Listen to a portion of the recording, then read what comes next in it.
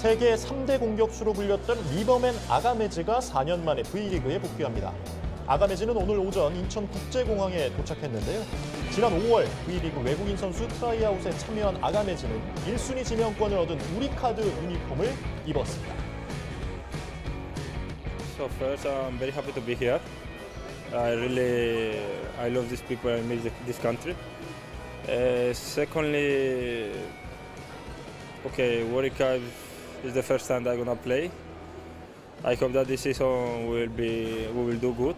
You know, not only to go to a semi-final, is to go to a final because I'm not a player to that I like to to go. Okay, let's say we go to a semi-final. I like to play fi- semi-final and final. 이날은 마틴 우리카드 코치도 공항을 찾아 아가메즈의 입국을 환영했습니다. 4년 만에 국내 V리그에 복귀한 아가메즈는 가족과 같이 한국 생활을 하며 다가오는 새 시즌을 준비할 예정입니다. KGC 인삼공사와 GS 칼텍스가 여자 프로배구 컵 대회 결승에 진출했습니다. KGC 인삼공사는 충남 보령 종합체육관에서 열린 2018 보령 한국도로공사컵 여자 프로배구 대회 준결승전에서 현대건설을 세트스코어 3대 0으로 완파했습니다.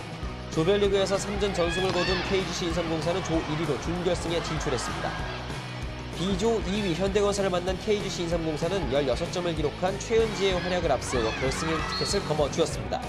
KGC 인삼공사의 결승상대는 디펜딩 챔피언 GS 칼텍스입니다. GS 칼텍스는 준결승전에서 흥국생명을 3대1로 꺾고 결승에 진출했습니다. 지난해 무릎 부상으로 한동안 코트에 서지 못한 이소영은 이 대회에서 맹활약하며 팀을 결승으로 이끌었습니다.